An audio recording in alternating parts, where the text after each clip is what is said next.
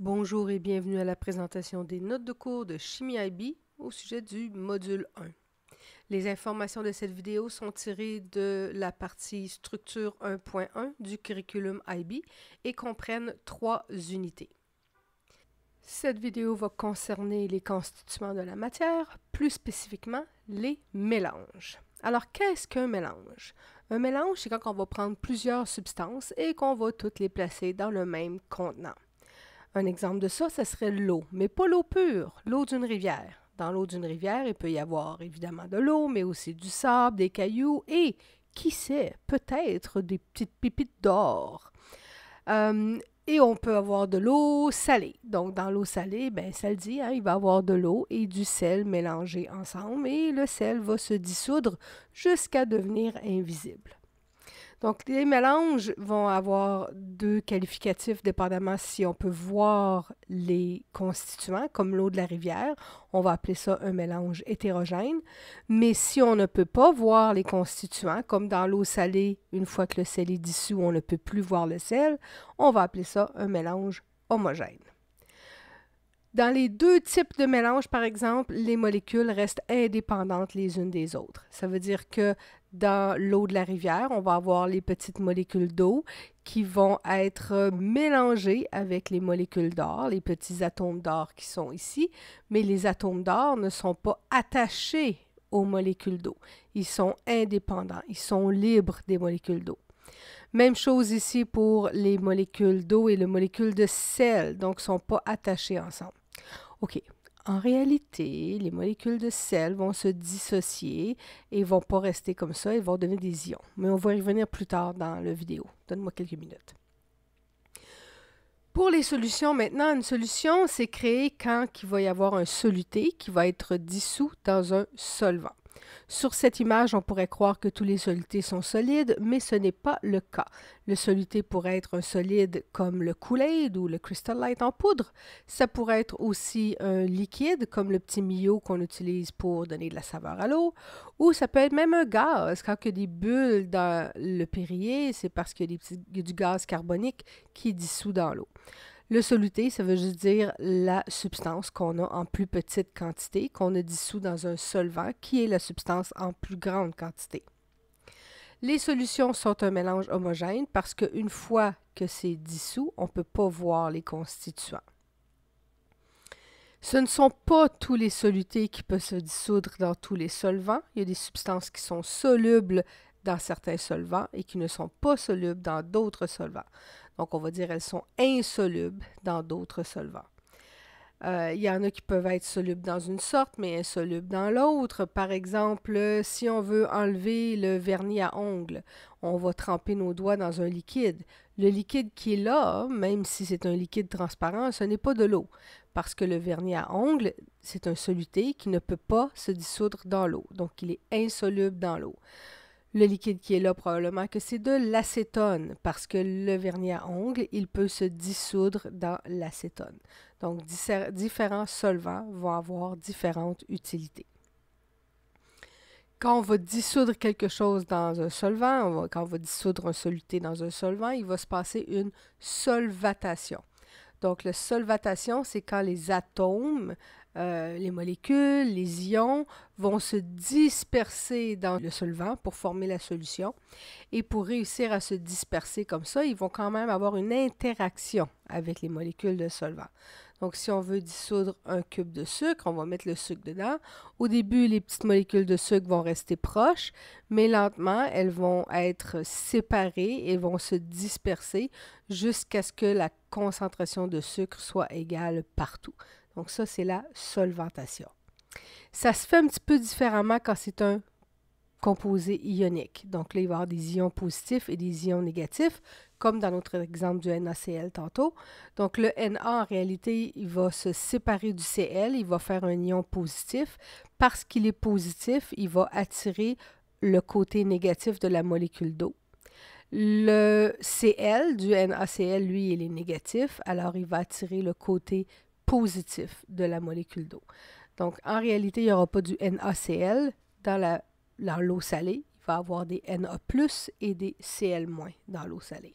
On a dit que les mélanges pouvaient être séparés, bien, il y a différents types de procédés pour réussir à séparer les mélanges. Encore faut-il savoir si c'est une substance pure ou pas.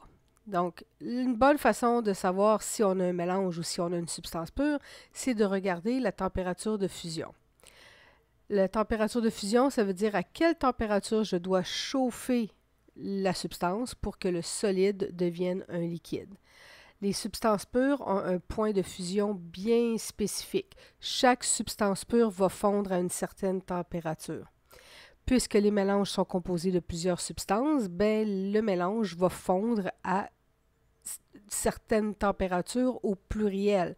Chaque substance qui est dans le mélange va fondre à sa température de fusion. Donc, il n'y aura pas un point de fusion bien précis, ça va être plus un intervalle. Et c'est comme ça qu'on va savoir si on a un mélange ou si on a une substance pure. Si on a une substance pure, ça ne vaut pas la peine d'essayer de le séparer. C'est pur. Mais si on a un mélange, là, on va essayer de les séparer, de séparer les constituants de mélange. Pourquoi est-ce qu'on voudrait faire ça? Bien, ça dépend de qu'est-ce qu'on veut faire avec ces substances-là. Peut-être qu'on veut extraire une certaine substance parce qu'on va vouloir l'utiliser ailleurs. Peut-être qu'on veut concentrer cette substance-là. On a besoin de plus, plus grande quantité.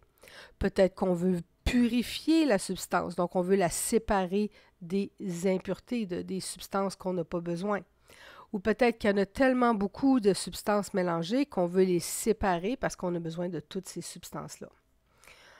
Un exemple de procédé de séparation super simple, c'est le tamisage. Donc, on a un mélange, euh, les particules sont les deux solides, ils ont euh, différentes grosseurs, fait qu'on va les mettre dans un tamis. Et puis là, ben, dans l'exemple qui est ici, on a du sable avec des cailloux. Ben, le sable, il va passer dans le tamis et il va me rester les cailloux. Donc peut-être que j'ai besoin des cailloux parce que je fais du ciment, ou peut-être que j'ai besoin du sable parce que je veux faire un carré de sable pour les enfants, mais j'ai réussi à séparer les deux constituants. Il y a d'autres techniques, évidemment, pas juste le tamisage. Donc, les autres techniques qu'on va étudier sont ici filtration, dissolution, cristallisation, distillation et chromatographie. Euh, dépendamment de qu'est-ce qu'on a besoin, dépendamment de c'est quoi le soluté, le solvant, ben c'est une certaine technique qui va être plus appropriée. Donc, parlons d'abord de la filtration. La filtration va fonctionner avec les mélanges hétérogènes. Et ce qu'on va faire, c'est qu'on va utiliser un papier filtre et dans ce papier filtre-là, on va verser notre mélange et là, le liquide va passer à travers, ça s'appelle le filtrat et ce qui reste en haut dans le papier filtre, c'est le résidu et ça, ça va être la partie solide. Le prochain, c'est la dissolution. Ça, ça va fonctionner avec les mélanges hétérogènes, mais à condition qu'il y ait des solubilités différentes. Donc, on va prendre le mélange, on va le mettre dans un solvant, et ce solvant-là, on sait qu'il peut dissoudre une seule sorte des substances. Les autres vont rester en suspension dans la solution et on va pouvoir procéder à une autre étape après. Donc, souvent, on va faire une filtration après ou peut-être une décantation et la substance qui est soluble va passer dans le filtrat. La substance qui est insoluble va rester dans le résidu. Donc, on avait deux solides ensemble, par exemple le mélange de sel et de poivre. Et le sel, on sait qu'il peut se dissoudre dans l'eau. Alors, on va mettre le mélange dans l'eau. Et là, le poivre, lui, il ne peut pas se dissoudre dans l'eau. Alors, il va rester sur mon papier filtre. Le sel, lui, il peut se dissoudre dans l'eau. Alors, il va passer dans le filtrat. Et après ça, on va pouvoir laisser l'eau salée s'évaporer si on veut récupérer le sel solide. Le prochain, c'est la cristallisation, justement. Donc, c'est quand on va avoir un mélange homogène liquide et qu'on laisse tout simplement le liquide s'évaporer jusqu'à temps que le soluté solide puisse se recristalliser au fond du contenant. Si ça va pas assez vite, on peut accélérer ça en faisant un refroidissement de la solution. Donc, un bon exemple pour ça, c'est l'eau sucrée. Donc, on peut prendre de l'eau sucrée et on va laisser l'eau s'évaporer et le sucre va se déposer. Donc, dans ce cas-ci, on met un bâton, va se déposer sur un bâton et ça va faire des cristaux. Ça va faire des bonbons. Le prochain, c'est la distillation. Donc, la distillation, ça va fonctionner avec les mélanges homogènes liquides qui vont avoir des points d'ébullition différents. Donc, point d'ébullition, ça veut dire à quelle température il bouille, à quelle température le liquide devient gazeux. Ça prend un appareil assez spécial où on va avoir un endroit ici pour mettre le mélange et on va avoir un endroit ici pour récupérer le liquide qui euh, s'est évaporé en premier. Et le tube qui est là, ça va servir à refroidir le liquide qui s'est évaporé. Donc, ça prend une partie pour chauffer, ça va prendre une plaque chauffante. La plaque chauffante va réchauffer le mélange de deux liquides. On va s'assurer qu'on ne chauffe pas trop. On veut seulement atteindre le point d'ébullition du mélange qui bouille le premier, donc celui qui est le plus volatile. Et euh, une fois qu'on a atteint cette température-là, ben, le liquide va s'évaporer, il va passer dans le tube. Le tube va refroidir le liquide et il va tomber ici et c'est ça que je vais pouvoir récupérer après. Ça, c'est un beau petit dessin. En réalité, ça ressemble à ceci. Donc, on a notre source de chaleur pour faire chauffer le mélange avec le thermomètre pour vérifier qu'on ne va pas trop chaud. On a notre condensateur ici et à l'autre bout, on va avoir le distillat qui va tomber. Finalement, la chromatographie. Donc, la chromatographie, ça fonctionne quand on va avoir des mélanges hétérogènes qui ont des solubilités différentes. Donc, pas des points d'ébullition différents, mais des solubilités différentes. Donc, on va prendre une petite quantité de mon mélange et on va le mettre dans le bas d'un papier, un papier buvard, un petit papier euh, comme un papier essuie-tout. Et on va le, placer sur la surface de l'eau pour que ça touche à peine à l'eau. Et là, ce qui va se passer avec un certain temps, ben, l'eau va être absorbée par le papier. Et quand l'eau va monter sur le papier, il va monter avec les différents constituants de ce mélange. Et comme les différents constituants ont différentes solubilités, ben, ils ne vont pas monter de la même façon. Donc, à la fin, ce qu'on va avoir, c'est ceci. Il va y avoir des couleurs qui vont être plus solubles ou moins solubles et elles vont réussir à monter à différentes hauteurs selon qu'elles sont plus solubles ou moins solubles. Alors, c'est ce qui complète notre information au sujet de la matière. Donc, on avait déjà vu dans le premier vidéo les substances pures et on vient de parler des mélanges. Donc, il y a des mélanges homogènes et des mélanges hétérogènes.